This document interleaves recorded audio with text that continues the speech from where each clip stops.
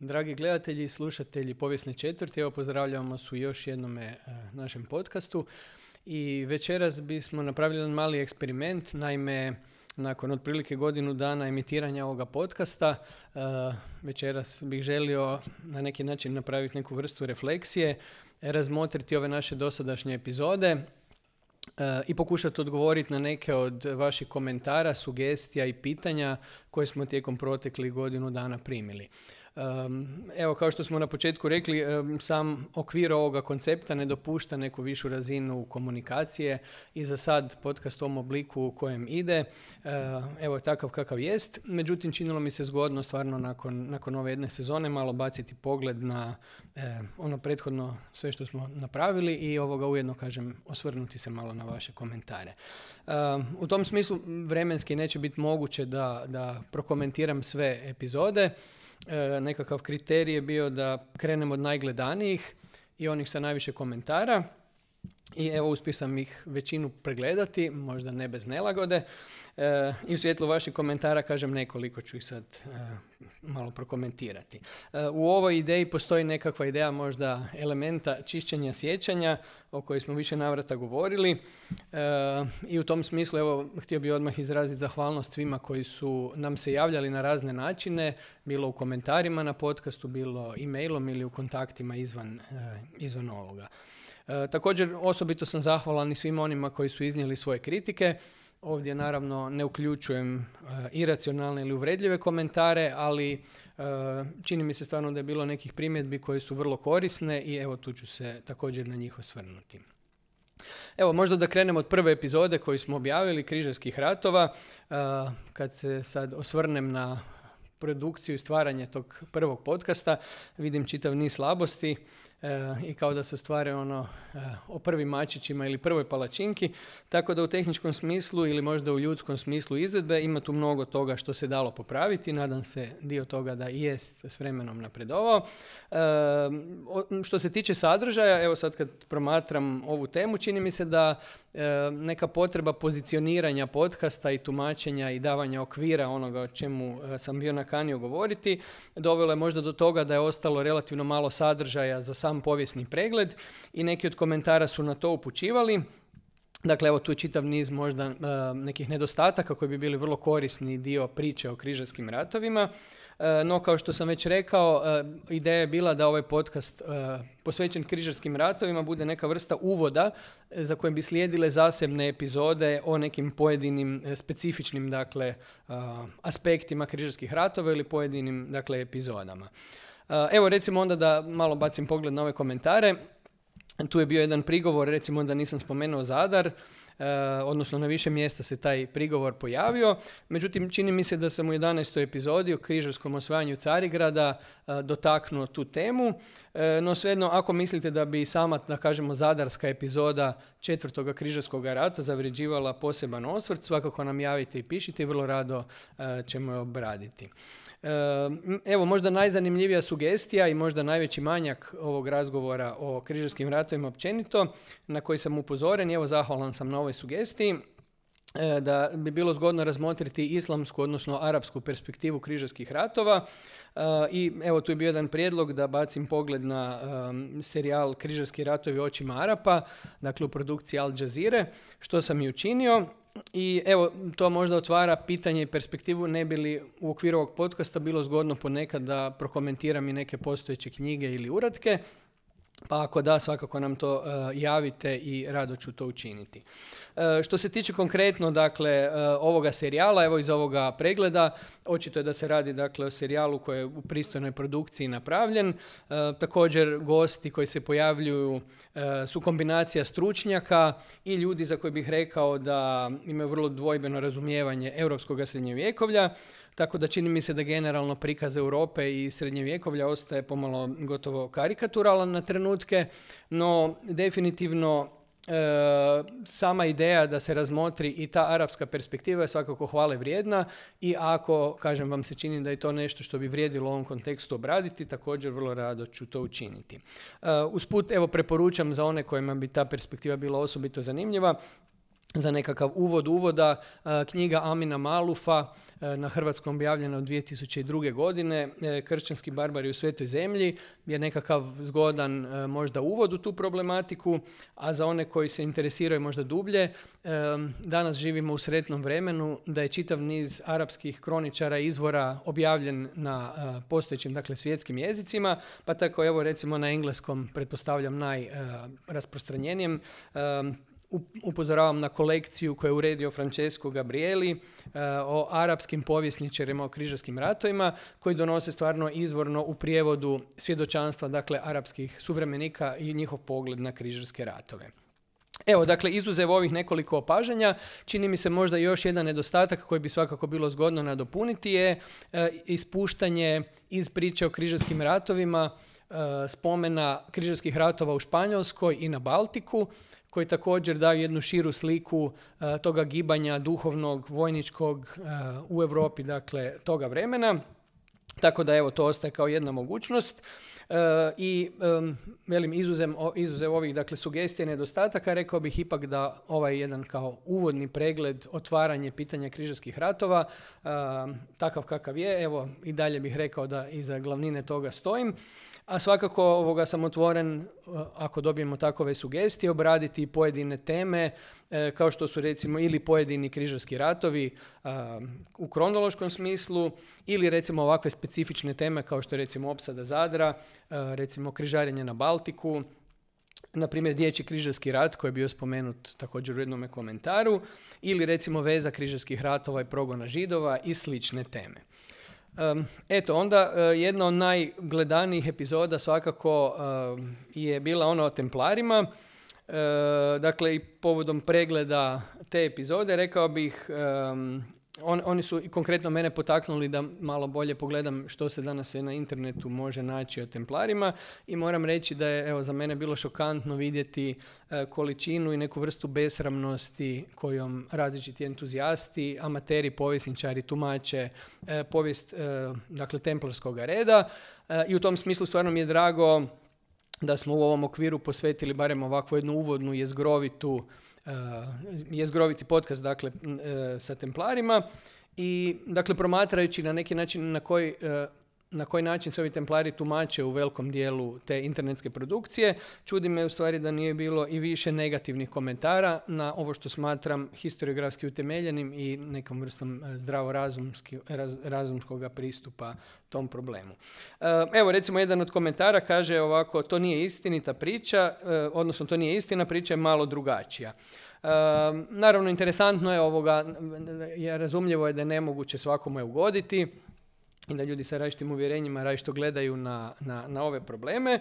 E, tako da se slažem da bi se puno toga dala nadopuniti. Međutim, u glavnini, evo rekao bih da e, ovaj tretman, dakle, templara i dalje ostaje po mom mišljenju kažem, jedan izgrovit prikaz, ali koji ostaje uh, uravnotežen i nekakav dobro usmjeren prikaz, te inače dosta kontroverzne i, kažem, često zloupotrebljavane problematike. Uh, ono što mi također se otvara kao interesantne mogućnosti, neke od pitanja dotaknutih u kontekstu razgovora o templarima uh, i u kontekstu, dakle, velike popularnosti ove teme, koja sugerira i rasprostranjenost dakle niza modernih mitova je spomen Svetoga Grala kao čini mi se jedne zgodne teme koja također je e, na neki način postoji hiperinflacija vrlo neozbiljnih e, pristupa interpretacije tog pitanja jedne srednjevjekovne mitologije. E, također dobio sam i neka pitanja o masonima, odnosno o tom navodnom templarskom podrijetlu masona koje sam dotaknuo govoreći o templarima. E, I evo moram reći da do sad nisam se odlučivao na obradu nekih tema vezanih uz masone, jer držim e, masone i masonsku povijest prvenstveno dijelom nekakve moderne povijesti od 18. stoljeća nadalje, a ove pokušaje nekakve masonske e, popularne historiografije da, da postojanje masona poveže sa srednjevjekovnim ili čak pred srednjevjekovnim e, nekim povijesnim dakle, zajednicama, skupinama i učenjima mi se čini krajnje problematičnim. No, ipak, kažem, ako postoji interes, vrlo rado uh, ću obraditi to pitanje neke vrste masonske mitologije koja se pokušava upisati u povijest, recimo, Vitezova Templara ili nekih drugih dakle, pojava.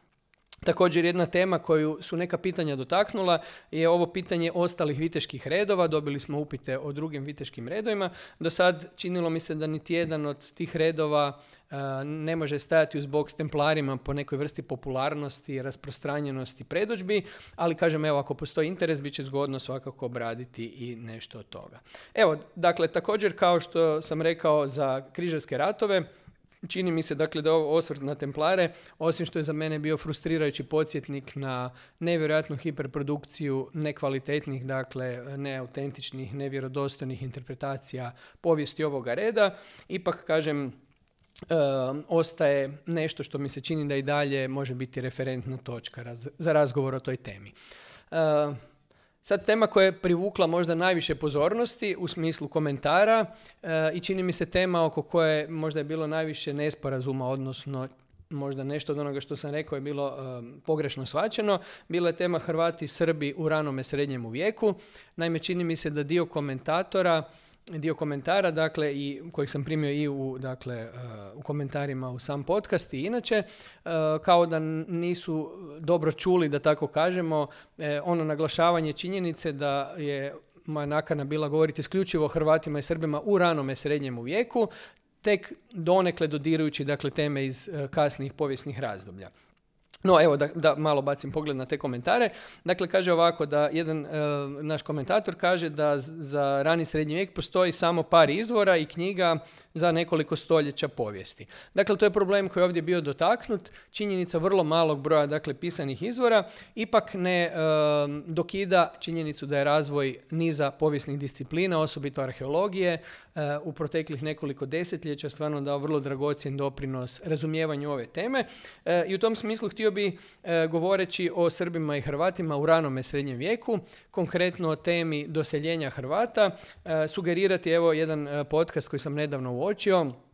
Arheokast e, Muzeja hrvatskih arheoloških spomenika gdje je gostovao Ivan Basić. E, vidio sam isto bilo puno komentara, puno nerazumijevanja. Među ostalim, ali evo jedan čini mi se dosta zgodan e, prikaz koji može pomoći na dopunjavanju dakle, ove teme.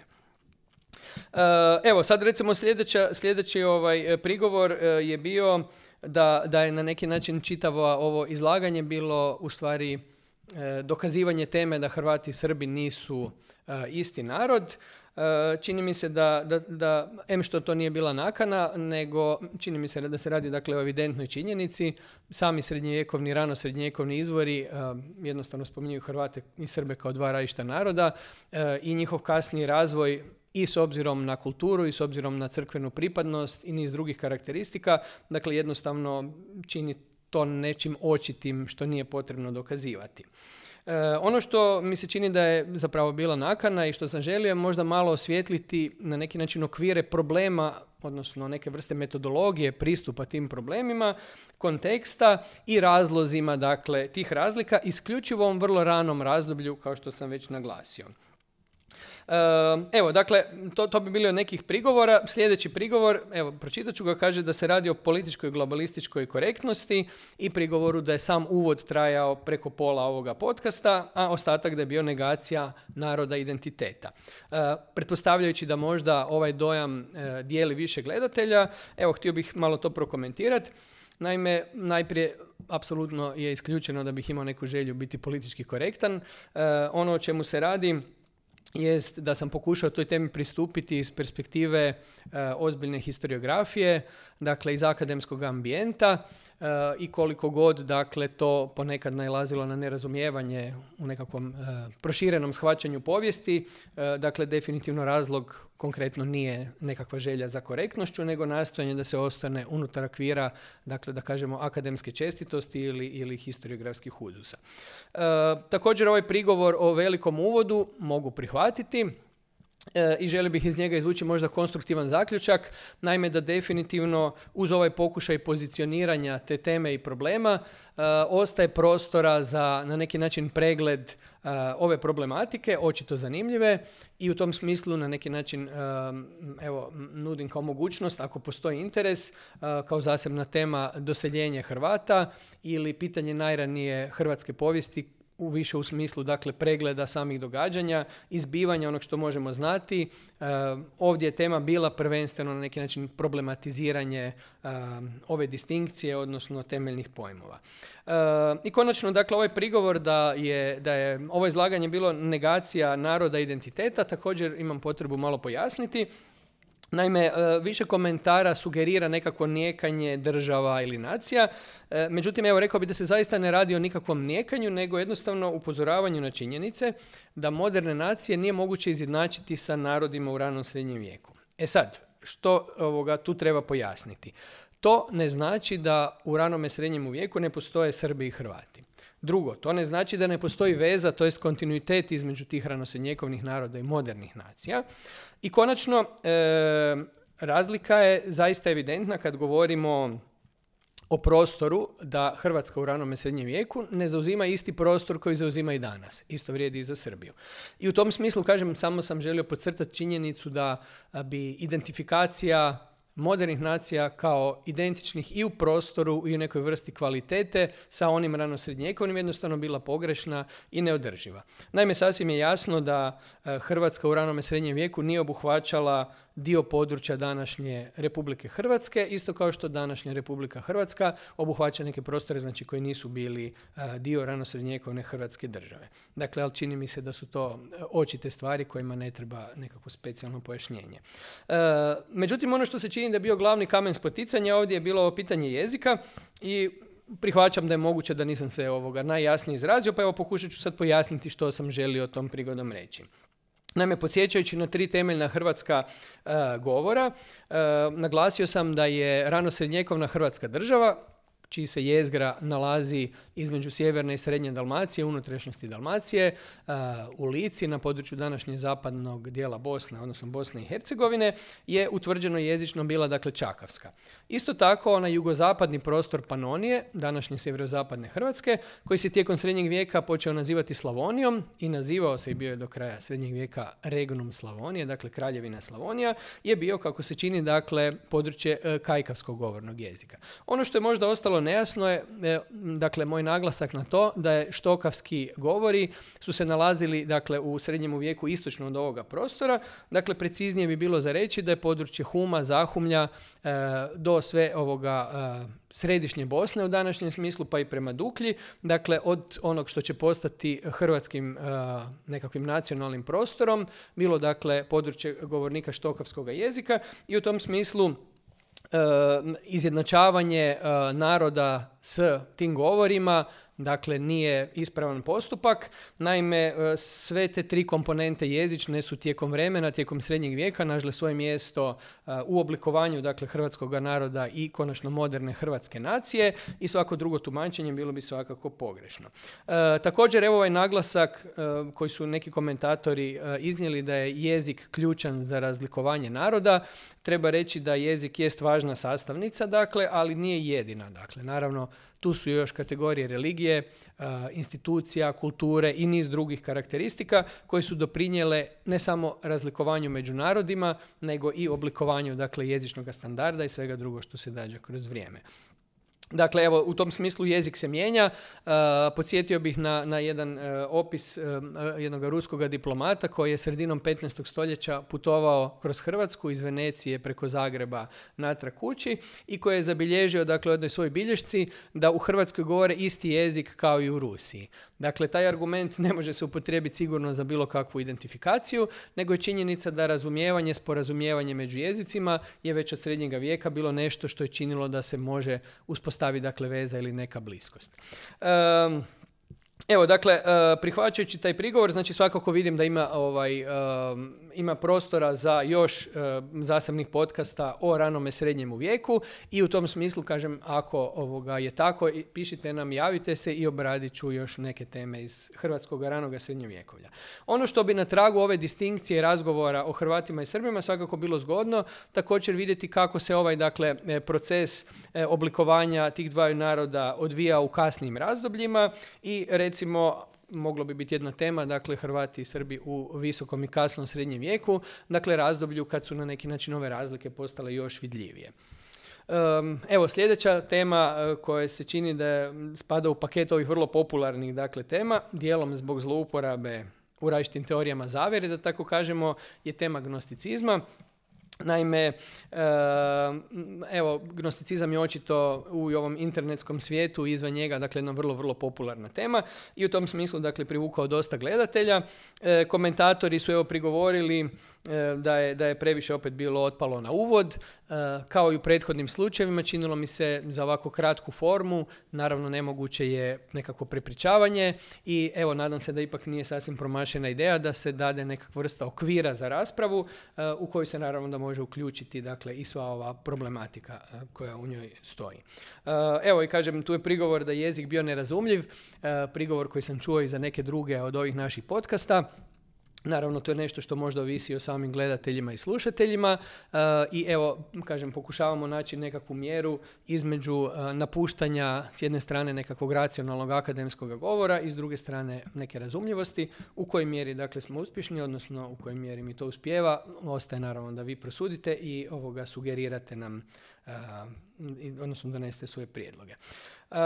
Evo, recimo tu u kontekstu gnosticizma također i spomen Bogumila sugerira dakle veliki interes za moderne oblike gnosticizma eh, i to je svakako nešto što zavrijeđuje zasebnu pozornost. Ovako, evo još neke od vrlo, vrlo gledalih tema, čini mi se bile su Torinsko platno i Marija Magdalena. čini mi se da je Torinsko platno vrlo interesantno i dalje ostaje dakle jedna velika, velika otvorena tema, malo u ozbiljnoj historiografiji ili dakle općenito u humanističkim znanostima proučavana, ali evo nadam se da je ovaj sažeti pregled problematike do nekakvih novih senzacionalnih otkrića i dalje kaže može poslužiti uz naravno obilnu postojeću kao što sam u samom podcastu naglasio dostupnu i literaturu, snimke i slično. još jedna tema vezana uz gnosticizam je bila tema Marije Magdalene dosta gledana, ali bez previše e, dakle, komentara. E, evo, čini mi se također kao i u prethodnom slučaju da, da ostaje na neki način zaokružena i doprinos nekome razgovoru bez u stvari velikih prigovora ili e, nekakvih sugestija. Jedna velika i neugodna tema, dakle, opet kažem, spuštam se po gledanosti prema onima manje gledanima, je inkvizicija, gdje je bilo nekoliko prigovora da se radi o apologiji, dakle obrani inkvizicije.